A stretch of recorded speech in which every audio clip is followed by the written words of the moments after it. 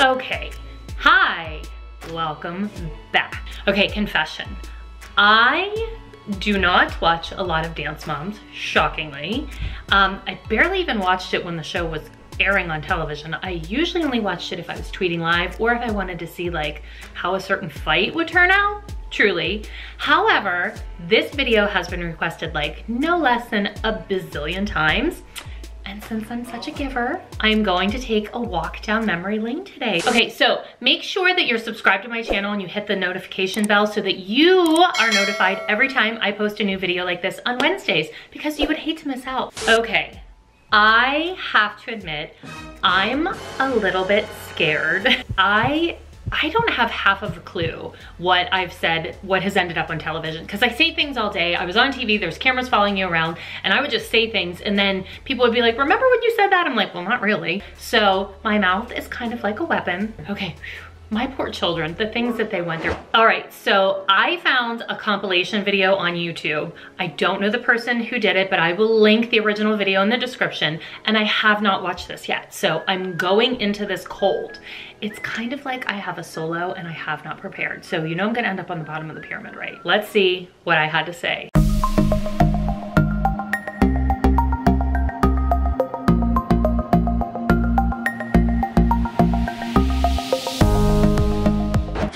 Out and she's the queen of hearts. Cathy, we've been down this road before. Stop copying my daughter.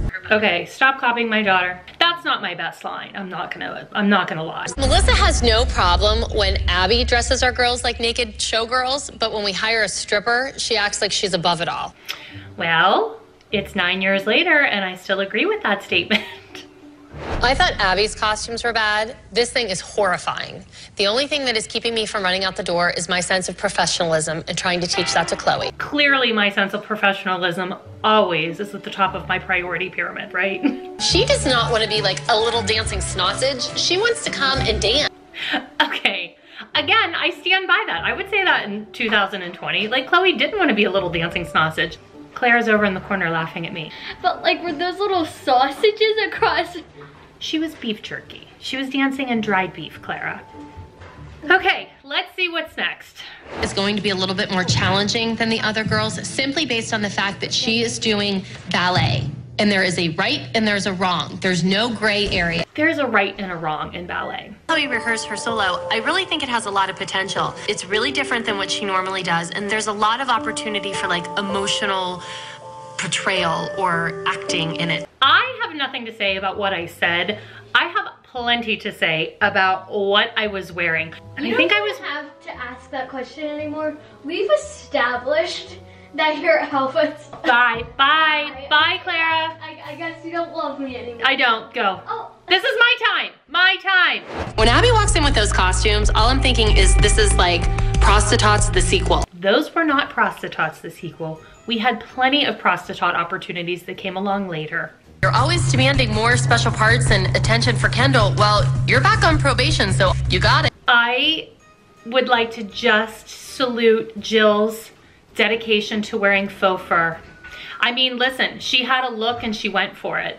All the battles I pick with Abby because Abby doesn't like me. She's made that perfectly clear. But when I see Chloe starting to cry and I see the tears actually on her shirt of her dance wear, I'm thinking, oh God, what is going on in there? I hate it. I still hate it. Oh God, this, I hate it so much. Those were real tears and those were real feelings. We were on a TV show. You had to talk about things. You had to bring things up. And unfortunately, when you did, your children cried. I'm a little worried about the new mom joining the group just because I'm constantly looking over my shoulder with Melissa.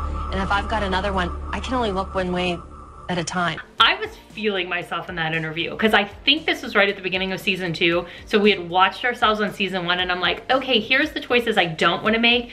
So I was really like into that look, I remember. And I think this is one of my iconic lines. How you like them apples? How you like them apples?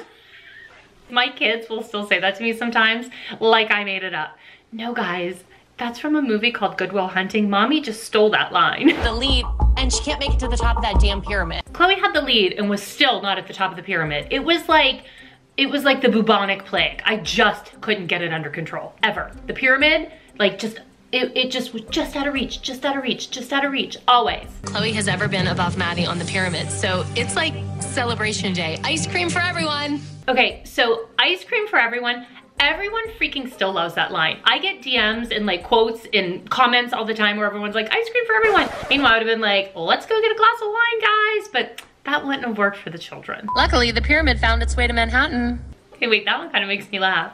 Luckily, the pyramid found its way to Manhattan. Yay. There were so many times when I just didn't have any type of enthusiasm and I was just like, oh, yeah, okay, it's another thing. So, like in Parenting 101, if your daughter forgets some ballet slippers, don't flip out and stress her out. It's a couple of $14.99 ballet slippers. Like, run down the street and get her a new pair.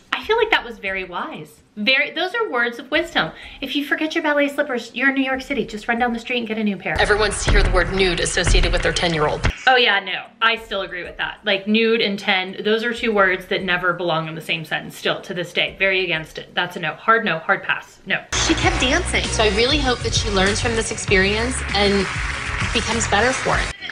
Okay, I have to say again, back to the clothes. And you can see me progressively get more homely as the season goes on because I am exhausted. It was like working year round and six days a week, I was tired and you could see it in my outfits and my face. Given that Chloe is at the bottom of the pyramid this week for forgetting her number, I'm so proud of her that she won. And Abby's nowhere to be. Chloe placed second in the junior category and she didn't win, but you know what? Doesn't matter. She was so fabulous. Who cares?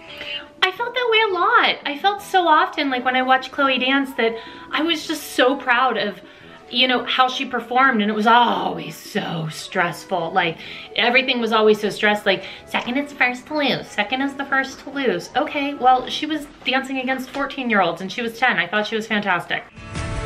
It was just such a proud moment for me. I, it really was. I wanted that for her. I wanted her to just believe in herself, and it was such a good feeling.